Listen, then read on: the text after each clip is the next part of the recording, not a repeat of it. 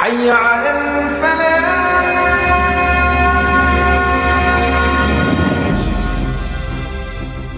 Banjir bandang menerjang pemukiman warga di Desa Purasari, Kecamatan Lui Liang, Kabupaten Bogor, Jawa Barat.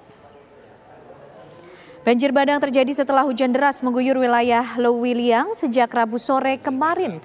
Akibatnya dua sungai yakni Sungai Cisarua dan Ciaul meluap hingga menerjang rumah warga di dua RW.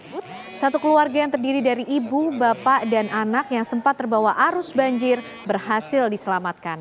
Akibat banjir bandang, kendaraan roda 2 dan 4 tertutup lumpur tebal.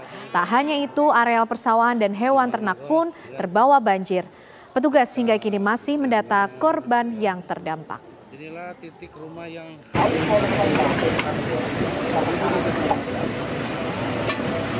di atas. Nah,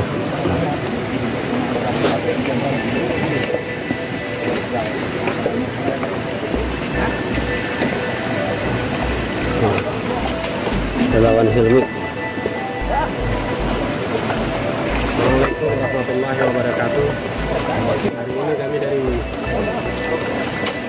Persaudaraan Islam bersama Hilmi dan warga-warga tempat saling bahu-bahu untuk mencari korban yang tertimbun tanah longsor ini.